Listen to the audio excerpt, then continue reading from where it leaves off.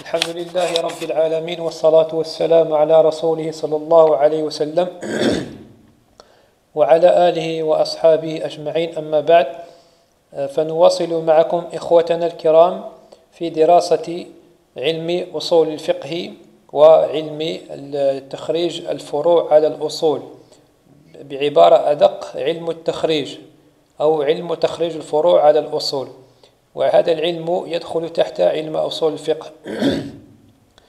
سوف نواصل قراءة من كتاب تخريج الفروع على الأصول للإمام التلمساني. ونبدأ من قراءتنا بداية قراءتنا من المقدمة. قال الشيخ رحمه الله تعالى فإن العلم أجمل السجايا الإنسانية وأجزل العطايا الربانية لا سيما علم الشريعة إذ هو في السماء المعلوات أسطع بدرا وأهله من بين أولي الدرجات أرفع قدرا.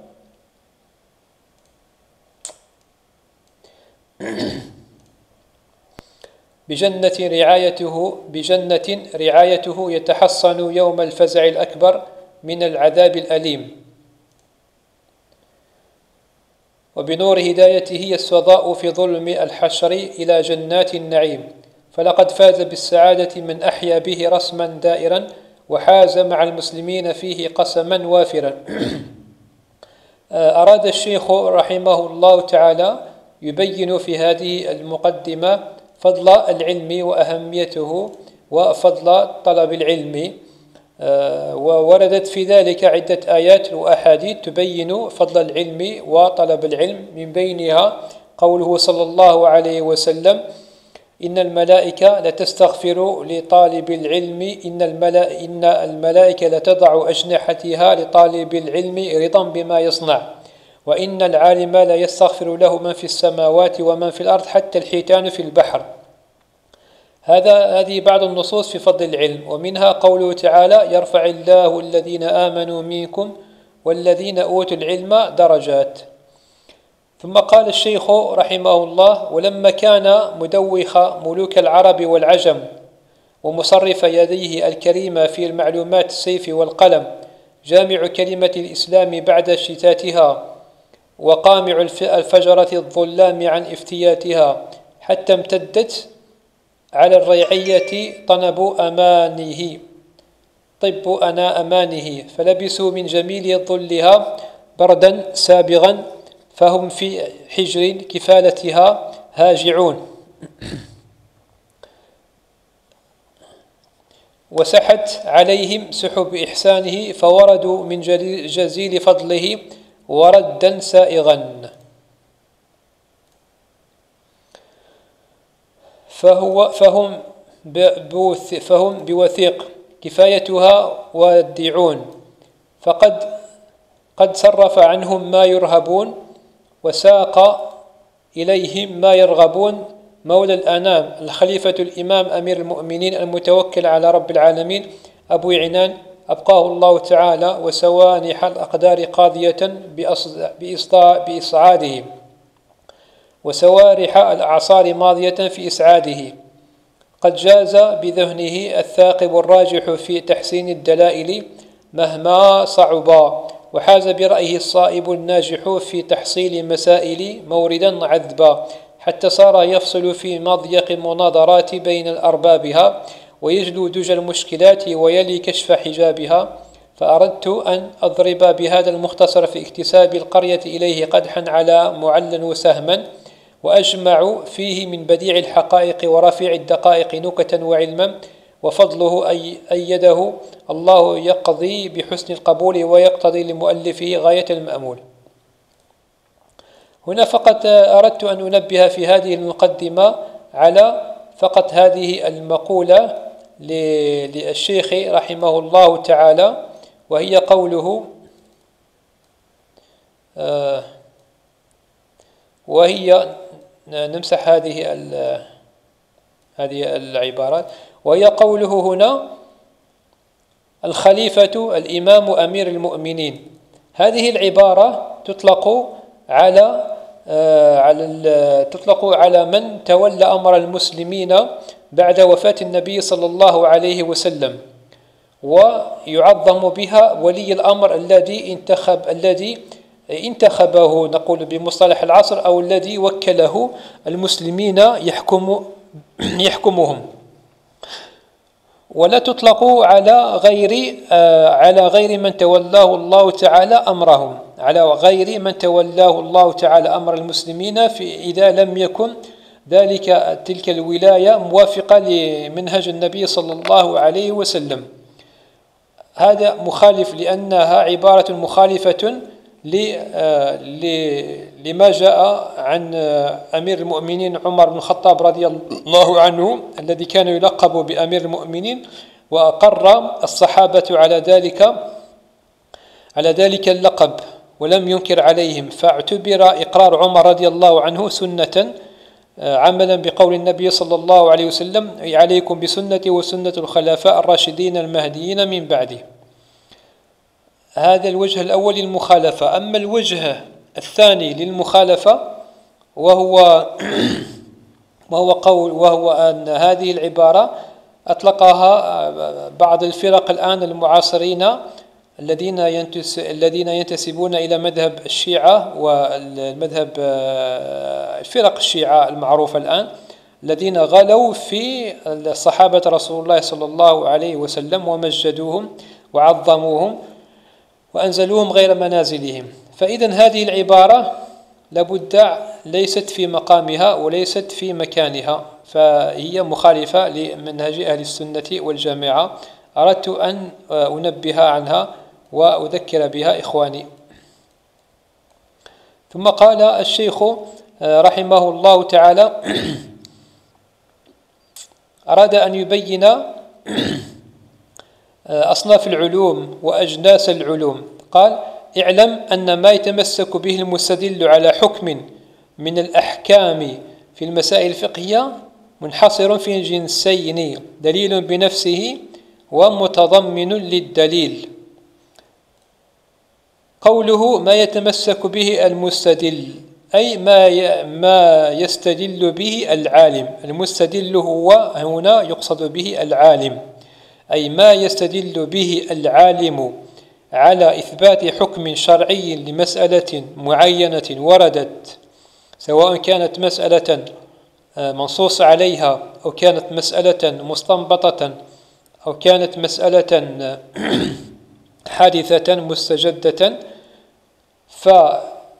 فيستدل العالم على حكم يستنبط من هذه المسألة حكما شرعيا من الأحكام في المسائل الفقهية انظر هنا قال في المسائل الفقهية منحصر في جنسين أي هذا استدلاله لتلك المسائل الفقهية لاستنباط الحكم الشرعي منحصر في.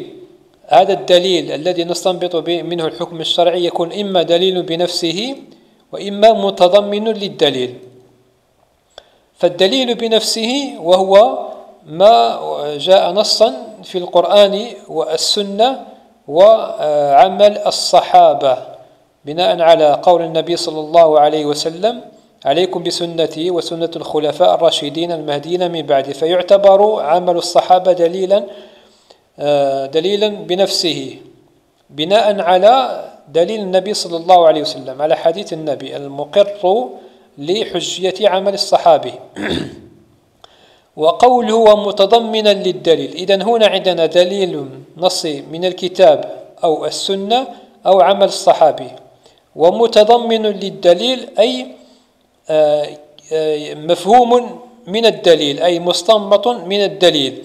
سواء كان آه، دليل سواء كان دليلا عقليا أو دليلا عقليا من الأدلة المختلف فيها.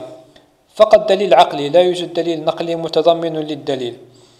الدليل العقلي وهي تلك الأدلة التي صنفها الأصوليون وجعلوها كأدلة مختلف فيها في علم أصول الفقه وهي بعد الأدلة الثلاثة المتفق عليها وهي القياس والاستصحاب والاستصلاح والمصلحة المرسلة وسد الذرائع والعرف وقول الصحابي وغير ذلك من الأدلة التي جاءت في الكتاب والسنة التي اتفق على آه، اختلف في حجيتها العلماء. هذه تسمى الأدلة المتضمنة للدليل بمعنى أنها آه، من أنها سيقت من الدليل الدليل تضمنها. وهنا بدأ يشرح الشيخ الجنس الأول وبين الجنس الأول من المقصود قوله الدليل بنفسه ماذا يقصد بقول المؤلف الدليل بنفسه؟ قال الدليل بنفسه وهو يتنوع نوعين أصل بنفسه ولازم عن أصل. النوع الأول الأصل بنفسه وهو صنفان أصل نقلي وأصل عقلي ثم قال الصنف الأول هو الأصل النقلي. اعلم أن الأصل النقلي يشترط فيه أن يكون صحيح السند إلى الشارع صلوات الله عليه. متضح الدلالة على الحكم المطلوب. مستمر الحكم الأحكام راجحا على كل ما يعارضه. فهذه أربعة شروط ينبغي أن, أن نعقد في كل شرط بابا. إذا عندنا القسم الأول وهو الدليل بنفسه. الجنس الأول الذي يستدل المستدل في إثبات الحكم الشرعي به وهو هذا الدليل بنفسه نوعان. يكون إما أصل بنفسه وإما وإما لازم عن الأصل. وهذا الأصل بنفسه هو صنفان أصل نقلي وأصل عقلي وهو أصل عقلي. والأصل النقلي معنى أنه عندنا القسم الأول دليل بنفسه ثم عندنا آه، الدليل الثاني آه، الدليل بنفسه أصل بنفسه ثم عندنا الدليل ينقسم إلى قسمين هذا ينقسم إلى قسمين ينقسم إلى قسمين. القسم الأول وهو الأصل بنفسه والأصل بنفسه ولازم للأصل وكلهم يدخلون تحت ما يسمى بالدليل بنفسه. وهذا الأصل بنفسه وهو صنفان أيضا الأصل بنفسه وهو صنفان. الصنف الأول قلنا هو أصل نقلي والصنف الثاني وهو أصل عقلي. إذا هذه القسم والقسم الثاني من هذه الأدلة وهو الأصل وهو لازم عن الأصل سوف يأتي في الصنف الثاني مما يشرحه الشيخ رحمه الله تعالى. فالأصل النقلي الآن سوف يشرح الشيخ في الأصل النقلي وقال يشترط فيه أن يكون صحيح السند إلى الشارع صلوات الله عليه متضح الدلالة على الحكم المطلوب مستمر الأحكام راجحا على كل ما يعارضه فهذه أربعة شروط ينبغي أن نعقد في كل شرط بابا. آه، إن شاء الله عز وجل سوف نشرح هذا النوع من الدليل وهو الأصل النقلي. سوف نشرحه إن شاء الله في الفيديو القادم بإذن الله تعالى. ونسأل الله عز وجل لنا ولكم العلم النافع والعمل الصالح حتى لا نطيل عليكم إخواننا الكرام. نسأل الله الإخلاص والقبول في ذلك. وبارك الله فيكم. والسلام عليكم ورحمة الله وبركاته. بسم الله والصلاة والسلام على رسول الله. إن أعجبك الفيديو لا تنسى الإعجاب والاشتراك في القناة.